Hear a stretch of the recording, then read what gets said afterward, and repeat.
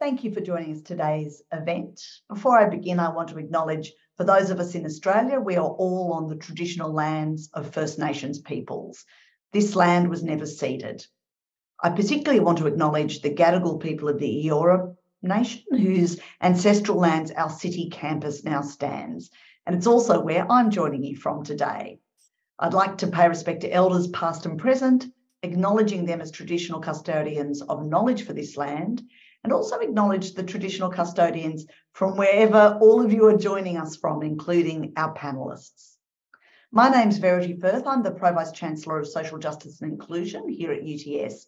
And it's my real pleasure today to be joined by a distinguished panel of speakers Dr. Linda Steele, Kate Swaffer, Yumi Lee, Bill Mitchell, and Theresa Flavin. People living with dementia in Australia have been subject to significant harm, including violence, abuse, and neglect in aged care. A new report, Reparations for Harm to People Living with Dementia in Residential Aged Care, finds that government, the justice system, healthcare, and aged care providers are failing to recognise, redress, and repair this harm and hold those responsible to account. With more than 480,000 people currently living with dementia in Australia, it's vital to bring awareness to the need for reparations, as well as changes to policy and practice around access to justice.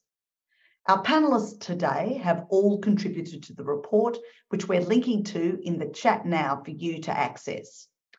It's my honour to now introduce our panellists, Dr. Linda Steele, Kate Swaffer, Yumi Lee, Bill Mitchell, and Theresa Flavin. Dr. Linda Steele Dr. Linda Steele is a socio-legal scholar whose research focuses on the role of law, human rights and transitional justice in the perpetration and redress of violence against disabled people. She is currently leading a program of research, Truth, Justice, Repair, through which she is exploring how we reckon with and repair the harms associated with violence, institutionalisation and segregation of disabled people. Welcome, Linda. Kate Swaffer is an independent researcher and award winning campaigner, international speaker, and author. Her work focuses on human rights, disability rights, and desegregation and deinstitutionalisation of people in residential care homes. She also lives with a rare form of younger onset dementia and continues to work locally, nationally, and internationally. Welcome, Kate. Yumi Lee is a peace and human rights activist and CEO of the Older Women's Network, New South Wales. Her work focuses on advocating and lobbying on issues impacting older women, including housing insecurity and homelessness and violence against older women. Recently, the Older Women's Network New South Wales engaged in the Ready to Listen project, aimed at raising awareness of the shocking level of sexual assaults that take place in residential aged care. Welcome, Yumi. Bill Mitchell is a principal solicitor at Townsville Community Law. He has written and presented extensively on the human rights of older persons and has been involved in program service design in diverse areas, including elder abuse and disaster legal response. He has been an expert contributor and presenter to national, regional, and international processes on human rights issues. Welcome, Bill. Theresa Flavin is an activist and advocate for the dignity and human rights of people living with dementia. Theresa lives with younger onset dementia and has worked with leading advocacy organisations and, and the Department of Health to provide them with a lived experience perspective. Welcome, Theresa. So we're going to go straight into a panel to discussion, but I thought the first question for today would be directed primarily to Linda and Kate to start today's discussion, can you tell us what was the catalyst for you to investigate these issues and write your report, Reparations for Harm to People Living with Dementia in Residential Aged Care? Perhaps to you to um, first, Linda. Thanks, Verity. Um, Kate, I don't know if you wanted to provide some of the broader context for the project. Sure, I'm happy to do that, Linda, and thank you, Verity. Um, and also everyone here today to help Linda and I celebrate the launch of this important report. Report, and also thanks to Leah for all of your support uh, and our speakers and attendees. Um, I think just in background, most of you in the Zoom room today will know that since my own diagnosis of young onset dementia, which is almost 15 years ago, um, it, it, it highlighted my the experience of rights violations, and that became a catalyst for me to become an activist and then a researcher. The diagnosis of dementia clearly highlighted the denial of universal health coverage, including rehabilitation, and multiple other disability and human rights violations, resulting in a prescription of disengagement from my pre diagnosis life. So, despite dementia being defined as a condition causing major disabilities by the World Health Organization for over a decade, we still have a health sector using a me- medicalized approach which mostly manages the symptoms of dementia as a pathway to deficits and death instead of as acquired disabilities, which is an approach that could and should be supported to ensure people with dementia have a high quality of life and can maintain independence for longer. This potentially also can improve uh, support for people with dementia uh, and help us to see that we need to move away from institutionalization and segregation. So there have been some, whilst there's been some positive progress to address the systemic experiences of abuse, violence, and neglect in residential aged care in Australia to improve outcomes for people with dementia over the past 20 years, 25 years, we are still facing many of the same challenges. This is highlighted by more than 20 years of formal inquiries in Australia into residential aged care, including a Royal Commission in safe, into safety, quality and safety in aged care, and a Disability Royal Commission. But we find ourselves facing a situation where violations of rights and multiple forms of abuse, violence, and neglect in Australian residential aged care institutions continues almost unchecked. The approach of business as usual in dementia and aged care contributes to this, and recommendations from these inquiries have consistently failed to address redress and reparations of violations of human rights in aged care, also contributing to the reality that they continue to occur. This failure of the Royal Commission led me in part to this project with Linda whilst we consistently fail to stop violence, abuse, and neglect and prevent future violations of people's human rights, we are failing all Australians, and particularly those living with dementia and our care partners and families. The Perpetrators of harm must be held accountable for these violations to stop now and into the future. Also, the reason for this um, work that we've been doing. Thanks, Linda. Thanks, Kate. And I guess just to uh, further elaborate on uh, the situation that Kate's described, um, the Royal Commission into Aged Care Quality and Safety documented that people living with dementia are experiencing wide ranging harms in residential aged care, including physical and sexual violence, emotional abuse, uh, misuse of psychotropic medication, and use of restrictive practices. And as Kate noted, these harms violate the human rights of people living with dementia, including those found in the UN Convention on the Rights of People with Disabilities. Uh, being in residential aged care in the first place is itself a violation of human rights when that decision is made by others without the consent of the person living with dementia and is made in a context of lack of resources and support to live in the community. These harms have ongoing impacts on people living with dementia, causing physical and mental health to deteriorate and sometimes even causing death. Family members who have witnessed the harm and tried to intervene, often in the, in the course of doing that, being positioned as a problem in the process, uh, experience grief, distress, and anger. Uh, and where family members have supported uh, individuals to move into aged care in the first place, uh, often under the belief it was uh, the best or only option, they can also experience guilt and moral injury from having been involved in the circumstances that give rise to harm. And the existing justice, regulatory, and political systems have largely failed to recognise and redress and repair this harm and to hold perpetrators accountable. Uh, litigation is expensive and lengthy. Complaint processes are exacerbate, uh, sorry, are experienced as exacerbating trauma and lacking transparency and meaningful outcomes. And government inquiries, as Kate mentioned, have failed to deliver reform. The Aged Care Royal Commission did not make any recommendations for redressing past harm. Uh, now, this lack of action in the aged care context is in contrast to official responses to other institutional harm. For example, we have a national redress scheme and a national apology in relation to institutional child sexual abuse. So ultimately, we found um, what brought us to this project was that the systems that allow harm to occur um, are continuing to allow um, harm to continue to be perpetrated because there's no recognition of the systemic problem and no attempts to repair that. So, our project explored reparations as one way to respond to harm in aged care and address this current justice gap. Uh, reparations, for um, those who are unsure what that means, are actions of making amends and of righting wrongs. And they can take various forms outside of the aged care context, including monetary payments, apologies, uh, memorials, and, and truth telling. So I was going to ask around the key findings of your report, but you've really outlined them in your first responses. Is there anything else you want to add to that, Linda or Kate, in terms of key findings?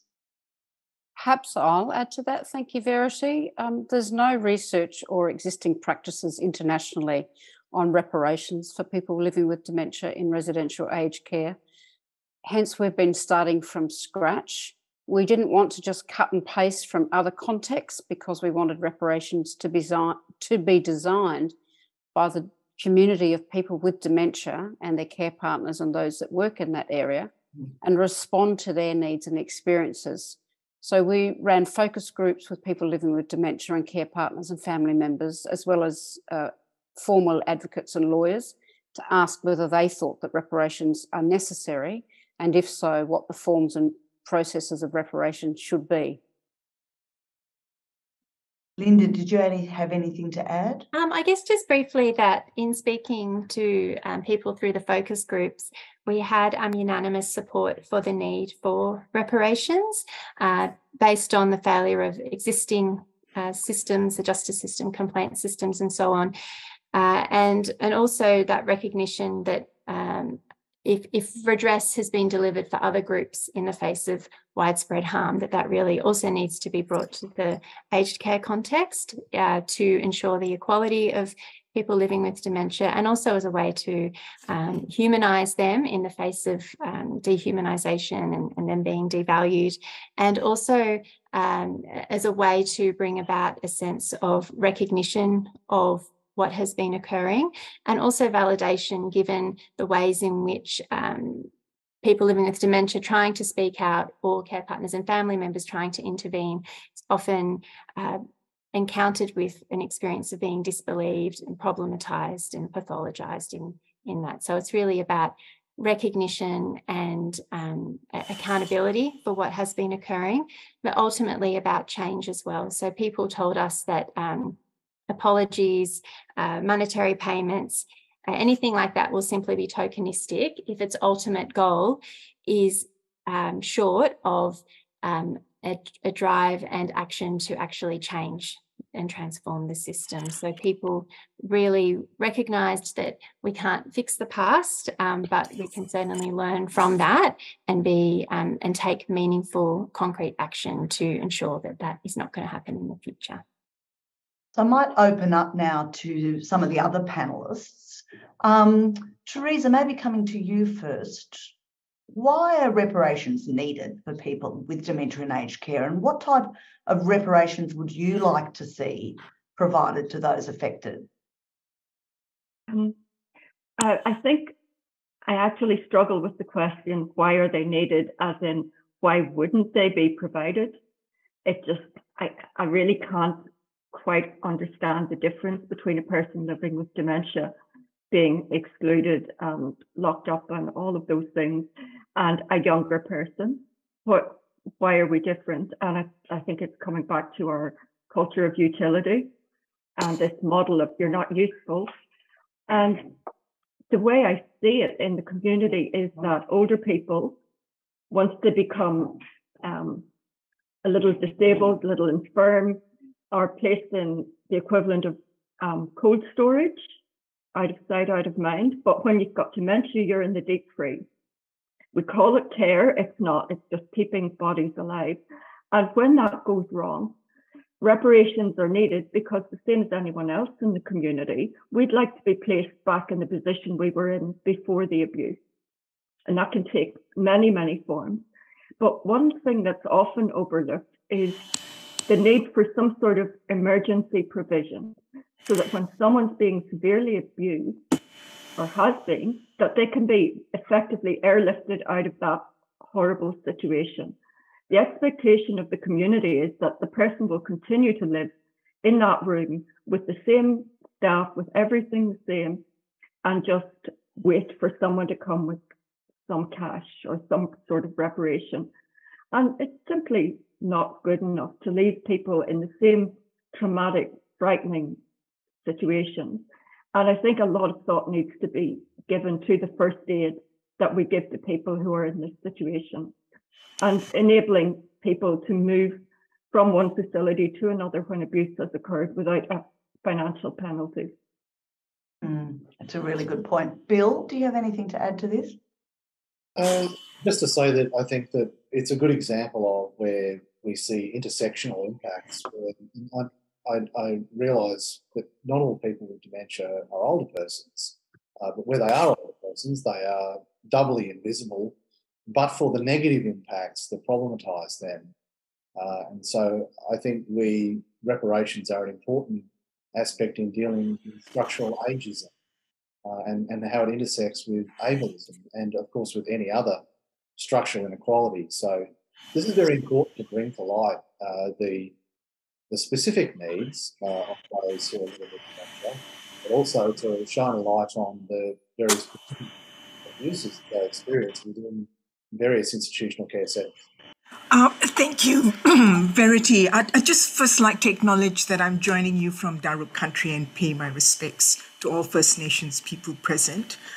Um, I would like to respond to that question by deconstructing the word people, because the majority of the people that we talk about who are in aged care are women.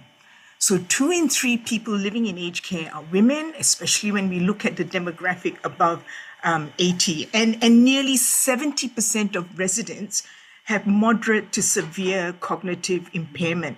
So, we're looking at a cohort of very vulnerable older people, majority of whom are women, who are having to survive an aged care system which doesn't serve their needs. We know the Aged Care Royal Commission exposed some of the horrors perpetrated in aged care.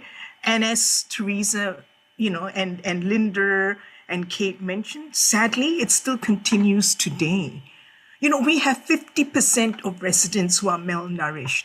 40,000 serious incidents reported to the Aged Care Quality and Safety Commission in the 2021 to 2022 financial year. And that includes about 50 sexual assaults taking place every week in aged care. So it, it, it, appears that demanding reparations for the harm perpetrated against people with dementia in aged care is one strategy that we should pursue. this is, you know, absolutely necessary because the system we put in place to provide safeguards and to protect the elderly receiving aged care, we have to admit it, it's just not working. It's all set up in favor of providers, especially the large for profit providers who've just been allowed to operate with near impunity. I mean, we just look at Bupa, for instance. At the end of 2019, half of the nursing homes run by Bupa were failing basic standards of care with 30% of them, you know, they, they were putting the health and safety of the elderly at serious risk. That's 30%. And yet, those homes were allowed to continue to run because the government wasn't bold enough to close Bupa down. I mean, we've really created a monster that's just too big to kill. We've seen maggots growing in wounds, residents who are literally starving to death, ants crawling out of bandages, and yet not a single provider has been held to account.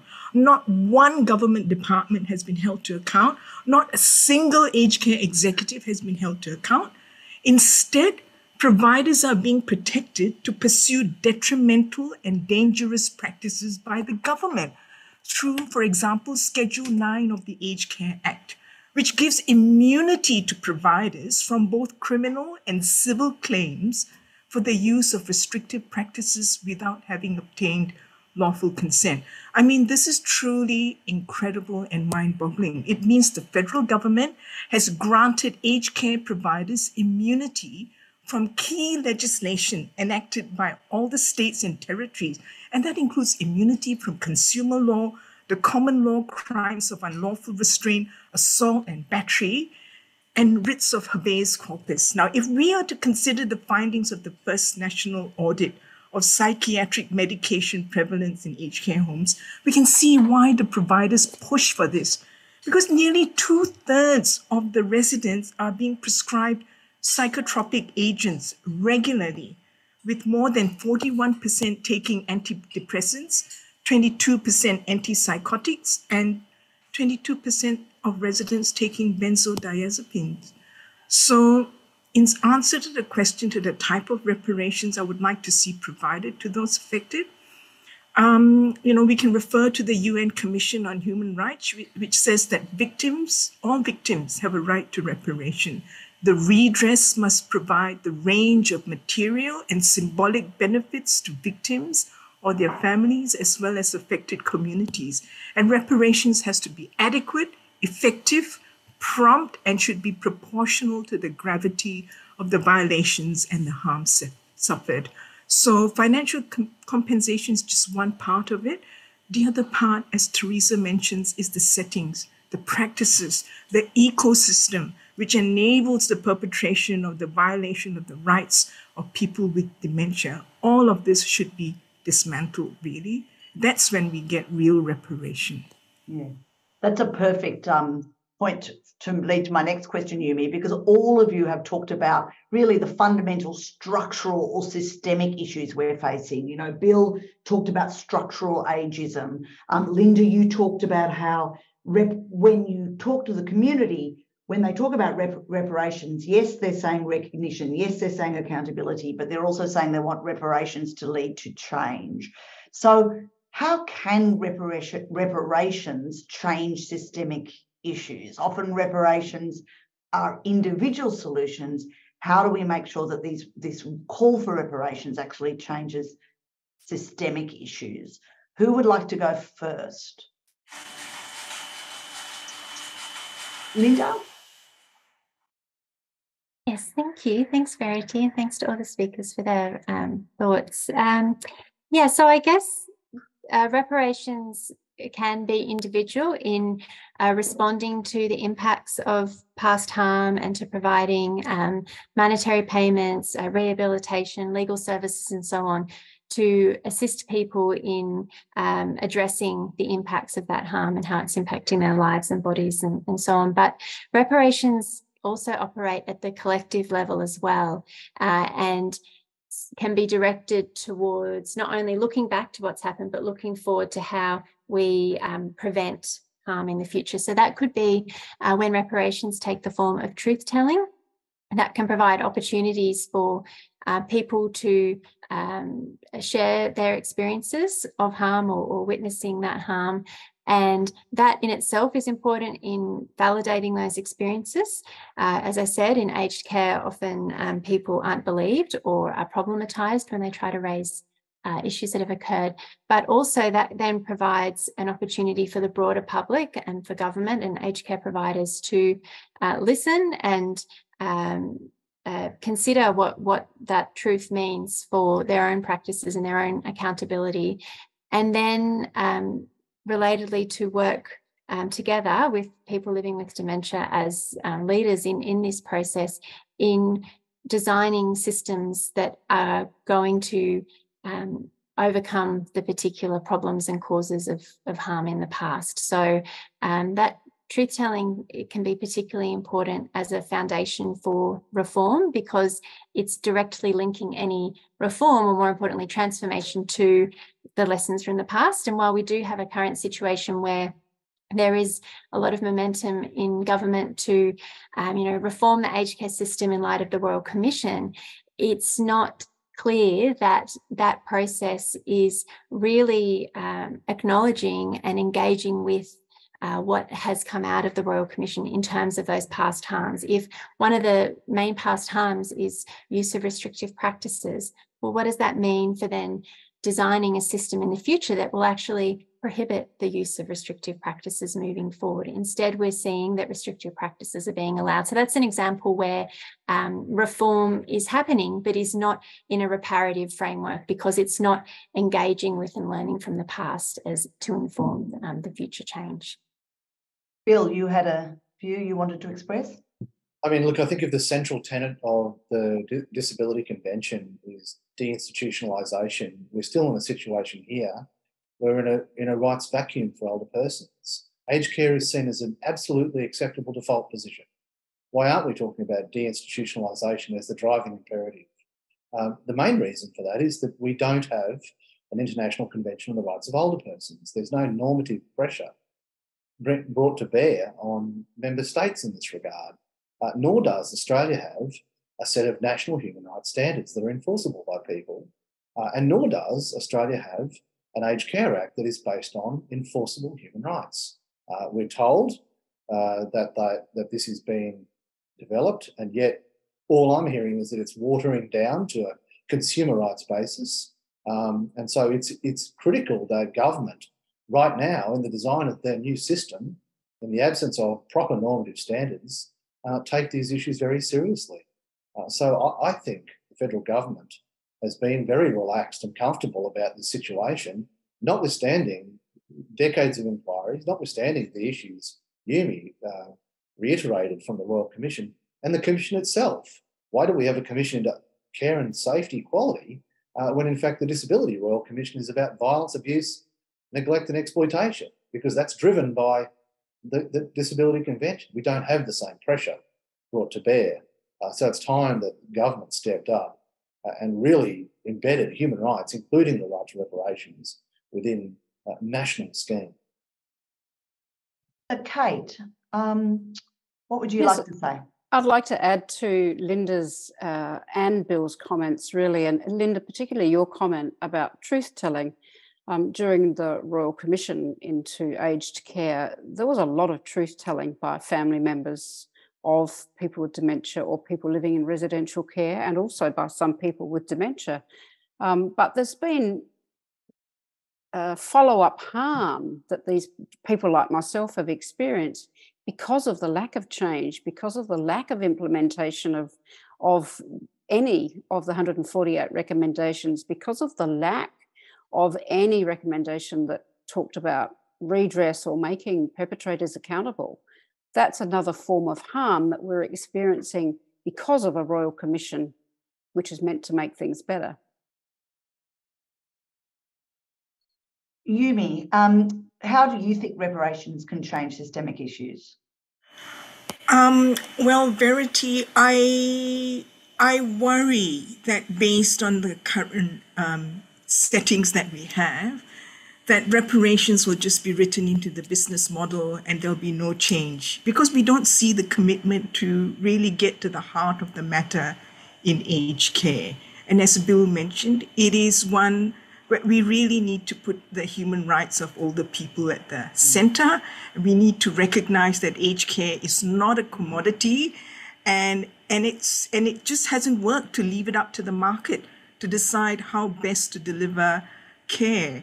Um, I can bet, I think, with more than my Kit Kat, that none of us on this webinar and our like minded colleagues and aged care advocates who are online have been consulted in the drafting of the new Aged Care Act, for example. Last Friday, Green Senator Janet Rice, she brought a group of aged care advocates together in person and online, and not one of us were involved in the drafting of the new Aged Care Act. We have a situation where aged care providers have paid lobbyists. They you know, uh, indulge in uh, political donations. And um, they've got the system set up to suit their needs. And the people who are vulnerable, the ones in aged care, those of us who are advocating and helping um, to get their voices out there, we just don't have those resources at all. So the whole system is unfortunately uh, rigged against us at the moment. And Theresa, do you have anything to add?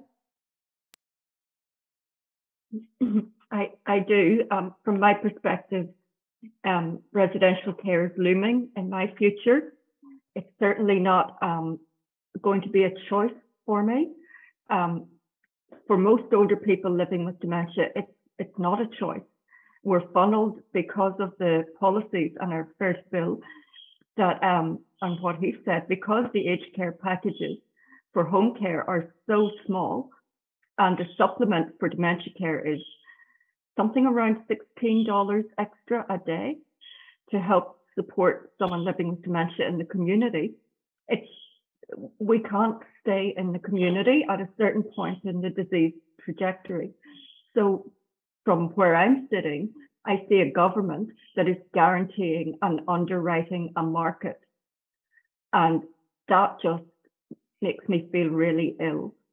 That not only are these providers shielded and protected by things like Schedule 9, their market is effectively guaranteed by the policies and the continuation of policies that were set back in times where we had stay at home mums and people could afford not to work. Working was a choice.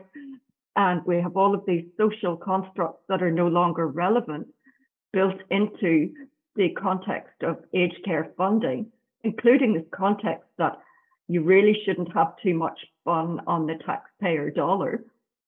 And these sorts of concepts that are embedded for us means that the only way we have to, to address this is through clear, obvious, and public reparations, including acknowledgement and public acknowledgement, and a denial of an ability for these organizations to shield themselves from these negative consequences.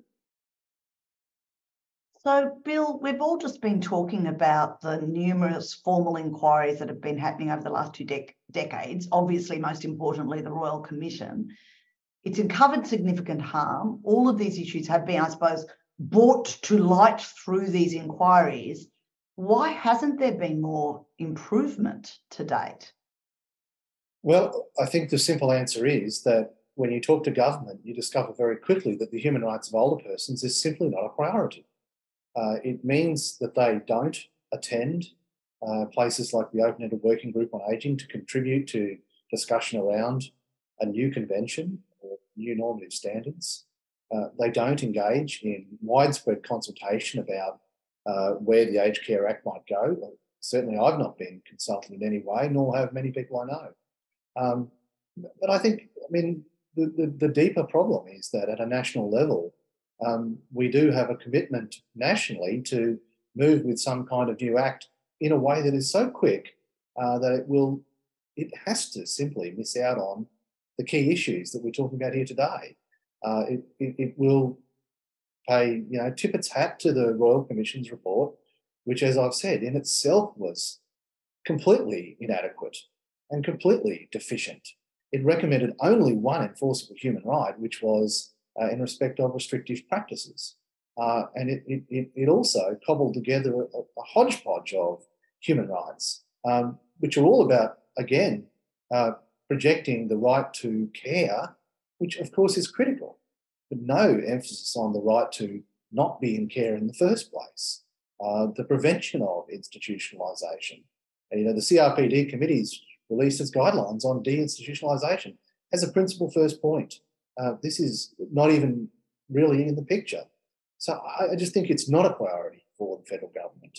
Uh, and I don't know why it isn't. It should be uh, as front and centre national priority. So I'm going to move to the questions from the audience soon, but before I do that, I, I do want to ask how we can ensure that any actions taken to address issues faced by people with dementia are led by people with dementia and their families and care partners. And I might come to you first on that, Kate, and then to you, Theresa. I was hoping you wouldn't do that, Verity. Oh, sorry. no, that's quite all right. Um, I, I, think that when I was first diagnosed with dementia, I very quickly realised that I was attending events and conferences and meetings about dementia, telling me what was best for me and and how I felt by people who didn't themselves have dementia. So that initially was what kind of inspired me to have a voice um, but still, having a voice as a person with dementia is especially hard. Um, you tend to be left out of lots of meetings, particularly if you have a known different opinion on a topic. Um, so not just left out, sometimes actively excluded. Um, sometimes in, in the advocacy space, including in research, it's often the same voices of people with dementia, so it's not representative of the broader community. We don't have diverse reputation, representation yet of people with dementia almost anywhere um, at any meeting. Um, and I, you know, I think it's great that Theresa's going to the UN soon for the open-ended working group meeting. I've been there for the uh, conference of state parties on the CRPD and curiously found that one of the most disab- disability inaccessible meetings I've ever been to. Um, so I think we just have to keep working on having a voice, but much, much more than a voice. I'm kind of tired of the old, we need to have a voice of everybody. We actually need action and change, and we need people who are causing harm to become accountable, to be made accountable. What do you think, Theresa? How can we ensure that people with dementia and their families and care partners are part of the process? Um, I, I think I have a sense that the government are quite interested in this concept. However, um, it looks like it's going to be extremely clumsy in its approach because, again, coming back to Kate, the fact that we are not designing it ourselves. And the difficulty from where I sit is that there is no framework to support true um, not a voice, equality in this conversation. And for example, when I tried to develop a framework to support consultation, to support consistent engagement of people living with dementia, the professors that saw it were so frightened by the change that they would have to implement that it was immediately not funded. It, that will never be funded when the people that are making those decisions have something to lose. And that's where we're at in this journey at the minute, where we want an equal seat at the table. That will not be given to us because that involves changes of attitude of primarily older men, unfortunately, sorry, Bill, but older men who have vested interest in inertia. And that's where I see it at the minute is trying to burst through this inertia of people who have vested interests in nothing changing is really difficult because we are individuals living with dementia, probably the most powerless cohort in Australia. Is there anyone else on the panel who wants to talk explicitly about how we ensure the voices of people with lived experience? Yumi? Um, not exactly, um, you know, addressing it directly, just referring more to the culture around the act itself, because, um, you know, the question of how can we ensure those who are impacted the most are included, I think it can only come about when there is a general acceptance in our community of the sanctity of life and of all life regardless of your age, your gender, your sexual orientation, ethnicity, and ability. I mean, COVID has really proved the harsh truth to us, and which continues to be told to us weekly that the lives of older people are not as important as the lives of others. And this was also shown up by the Robodebt Royal Commission, you know, where we saw that the lives of those who are on welfare were were seen as less important because they are painted to be undeserving of being supported. They were painted out to be dole bludgers. And, and similarly, you know, our elderly are not seen as productive economic contributors and they're at the last stages of their lives. So there is no concerted effort to fix the system to support them. I might move, if there's no one else who wants to add to that, I might move to some of our questions from the audience. Um, Bill, I know that you were saying that no one has yet got in touch with you about the Aged Care Act, but I think it is quite a good question from Yvonne around how can we use this study to impact on the Aged Care Act. Um, we've got this piece of work now. How do we actually make sure it has an impact on the drafting that is now happening? Bill, do you want to take that first and then maybe Linda?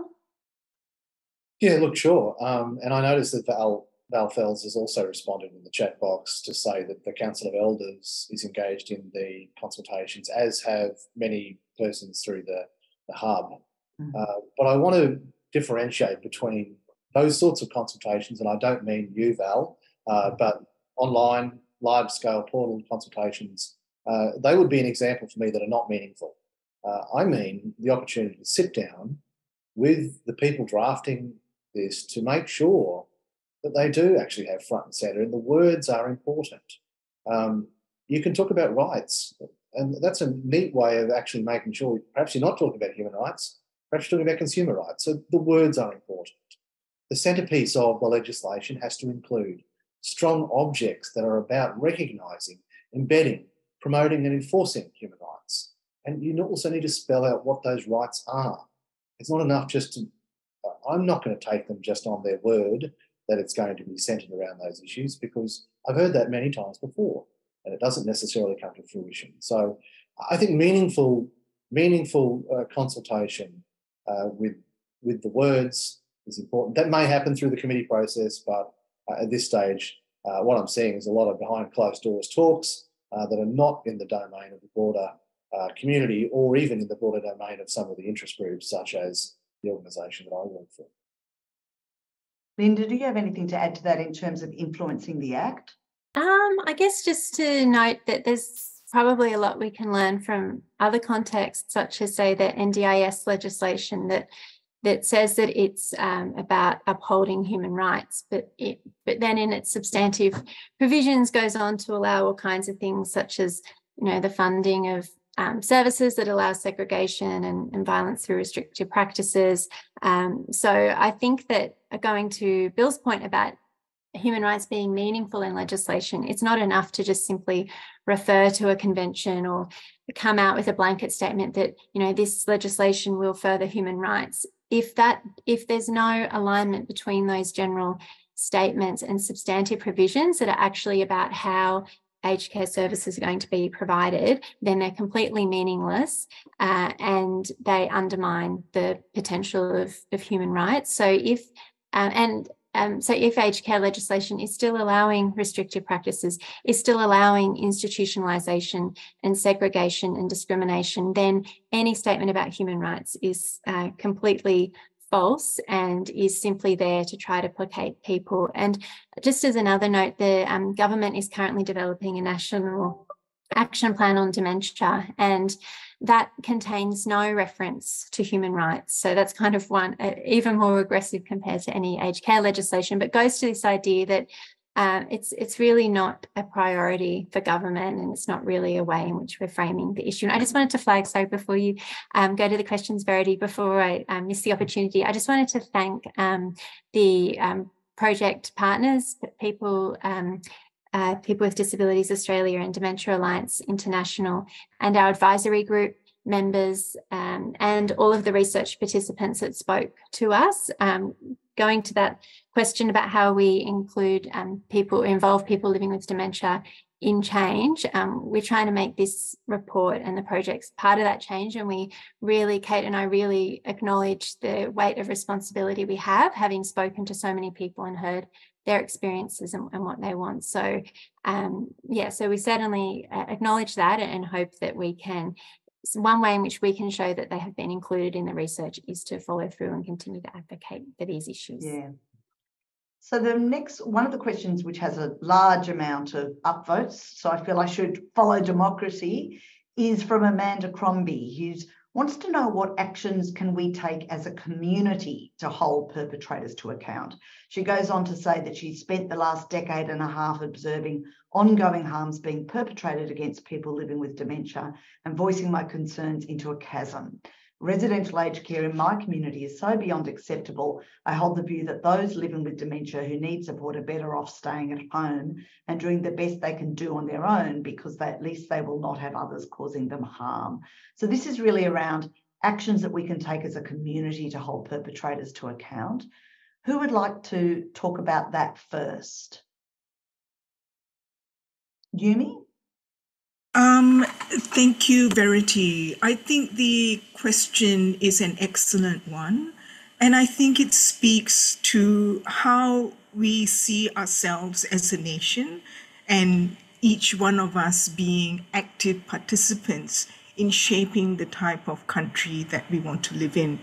And um, uh, we have to, I think, join groups you know, be part of collective action. Individually, we can do so little, but collectively, we can do a lot more. We can use our collective voices and power to effect change. I think it is important for all of us to be more active in, in, in getting change to happen. And um, it, it is absolutely massive you know, the aged care industry generates millions in, in profits for um, providers, and um, they will not let go of this so easily. And uh, we, we really need uh, concerted action. And, you know, we have advocates on this line who have been at, on this issue for decades. And uh, I'm, I'm sure, you know, uh, they would um, like to see change happen sooner rather than later. So I think um, we as advocates need to find a, a, a, way where we can harness our collective power to do to do more. I think uh, you know where where do we start? You know there is also the media, which is controlled by uh, certain elements that drive certain narratives, and um, you know so everything is so interconnected. You know, the people living with dementia who are suffering in uh, aged care facilities are an integral part of our community, and fixing things for them will fix a lot of other things for others as well in the community. It's so often the case, isn't it?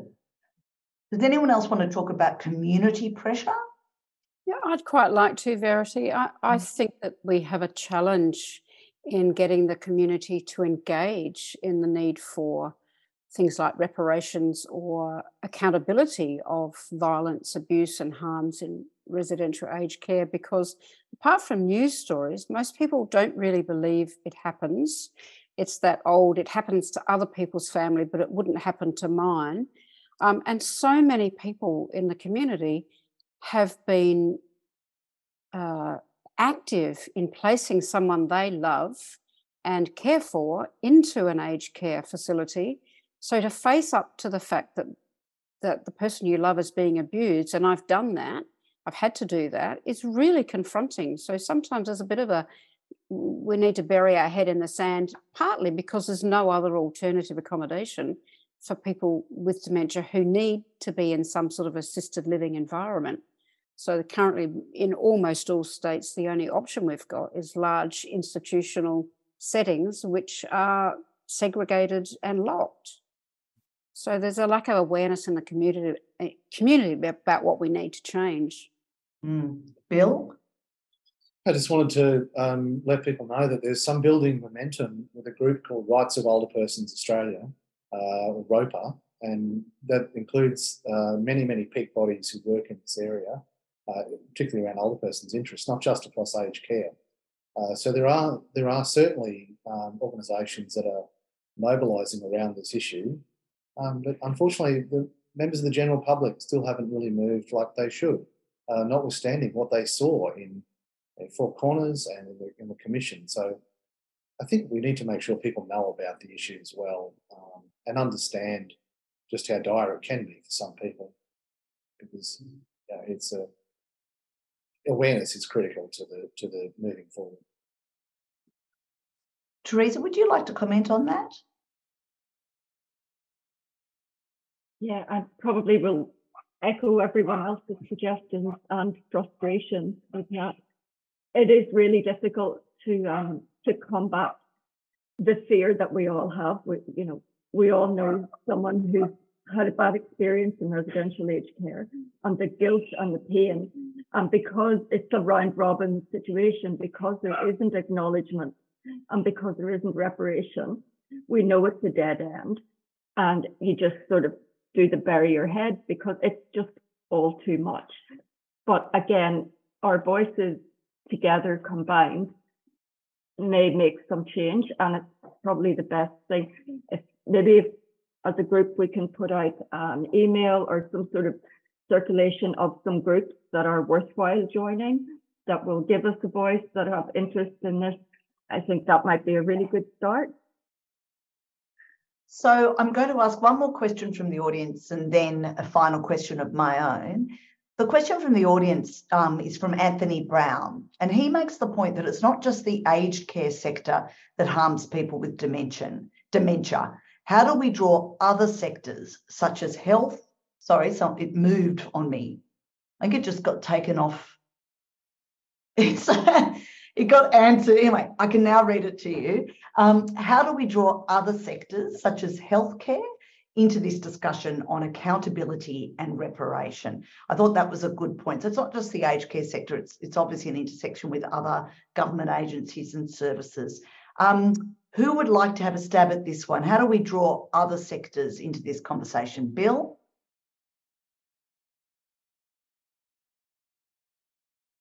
Oh, you're muted. Yeah, I mean, human rights are indivisible and interconnected and, and inalienable. So if we provide people with proper human rights, then it shouldn't matter what the setting or placing is. Uh, they should be able to access the same rights irrespective of their setting. So for me, universality of human rights is the critical point here. And Linda, what would you like to say? Yes, just that um, our project did, we obviously there was a lot of focus on uh, the role of aged care providers and, and the boards and managers of aged care facilities, but uh, people also spoke about the importance of accountability and um, repair in, in relation to healthcare providers, uh, particularly if they are involved in restrictive practices and forced medication, uh, and also the legal profession as well. Because, and as a, a, member of the legal profession, I certainly recognise the role of law in this, not only because so, you know, most of what happens is completely legal, which shows the way in which um, the legal system and lawyers and judges and so on are complicit in this process uh, and practice, but also um, because uh, at an individual level, restrictive practices, um, forced movement into aged care and so on is enabled by guardianship law, restrictive practice laws and so on. So I think we've got to really, yeah, take a broad approach to the various professions that are uh, complicit or implicated in um, these practices and look um, at prof- engaging professional associations, unions, uh, and also the universities as well. Because if a lot of this um, what's happening is considered ethical and legal. You know, we've got a lot to be accountable for in the university sector for what we teach and the kind of knowledge we generate that provides a foundation for these practices to occur. So that's about how we, who we, um, how we're approaching our teaching of future professionals, the kind of research we do, um, thinking about yeah, accountability in academia as well. Yes, that's a very good point. All right, well, there's five minutes to go, so I'm just going to ask my final question of each of the panelists. I will say that Philippa Carnemolla has said a very nice um, uh, message in the Q&A, um, thanking us for raising the importance of inclusive practices we can learn from inclusive practices in other sectors, including research policy led by people with intellectual disability. This webinar is a call to action that inclusive practice is critical in research in this area, and I think that that's spot on. So my final question to everyone is a positive question, hopefully ending on a little bit of a higher note, which is what do you hope will change with the information made available through this new research? And of course, the accompanying campaign for dementia justice. And I might start with you, Yumi. What do you hope will change? Oh, well, I thank Linda and Kate for this research because it really highlights the fact that we have a very vulnerable group of people whose rights for safety and care are being violated on a daily basis. If we flip the age groups and if it were children in school who are being neglected and abused in this manner, there's no question that heads would roll. You know, the Aged Care Royal Commission stated that about 39% of residents are abused. So if 39% of children in our schools are being abused in a similar manner, what do you think will happen? So I think this research enables us to stop and interrogate why we are not collectively outraged. And I'm hoping the campaign will lead to better staffing. And by, by this, I mean both in terms of training and numbers for aged care, because people don't go into aged care as a lifestyle choice they go to aged care because they can't care for themselves anymore. It means they really need assistance provided by trained staff. And that includes training on the specific needs of people with uh, dementia. And the poor understanding of dementia can be seen in the fact that aged care staff believe that in 58% of cases of sexual assault, there is no impact on the victim. And just this morning in the Sydney Morning Herald, there was the news article about an 83 year old woman with dementia who was not believed when she reported three times about being sexually assaulted. The facility manager said something like, That would never happen here because she knows all the staff. It's time to upgrade our knowledge base, our compassion, and our resolve to get things right for some of the most vulnerable people in our country. Thank you, Yumi. Linda, what what do you hope will change? Um, well, yeah, I mean, I guess I hope that we will have um, more recognition of the need to take a sim the kind of approach that we've taken in other contexts, such as with the National Redress Scheme, uh, national apologies, and so on, in the context of aged care and for people living with dementia, and to stop having a situation where the human rights, the justice um, available to people living with dementia is um, substandard or non-existent. And also, though, um, really looking at our mainstream justice processes um, just as much as people living with dementia should be equal in terms of accessing specialised reparations, they should also have equal access to justice through our courts and complaint processes. So those really need to be uh, fixed as well. Thanks, Linda. Theresa, what would you like to change? Um, well, I'm I'm hoping that uh, this report will bring some attention in the community. We've got sort of this sense of security that we live in the West and we have human rights, and if someone is harmed, that you know that harm is addressed, and we have this sense that everything's okay. This brings us to a really pain point where we realize there is a part of our community that are not being treated fairly. And so by the time that we encounter that in our own lives, we have this information say, actually, that's not fair. And I can point to this report to show you why it's not fair. So this is, if anything, it's giving us a little bit of ammunition so that when we come to that point in our own lives, when it's our own family member that's affected, we have a little tiny bit of a shard of something to begin that individual fight that whatever proportion of us here today will have to fight when it comes to our own time. Bill? Well, I hope that people living with dementia become visible rights bearers as opposed to invisible objects of charity. Uh, that's, I think, if this can help along that way, then that's that's big help. Wonderful. And last but not least, Kate.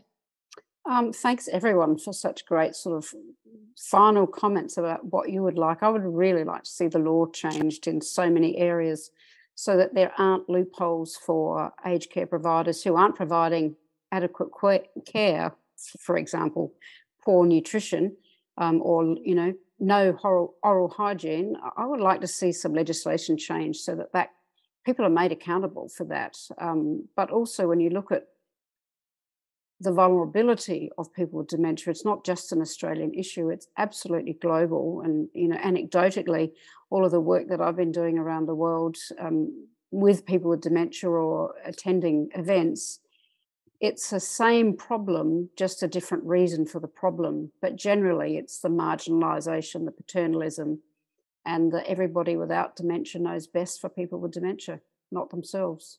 Mm. Well, thank you to our panel. You've been absolutely wonderful today. We really appreciate your time to talk to our audience. Thank you to the audience for attending. Um, we've had a wonderful um, participation throughout this session, so thank you. Everyone who registered for this session will also receive a link with a recording. So please share it far and wide. That could be part of the campaign for dementia justice. So thanks again, everyone, and we'll see you next time.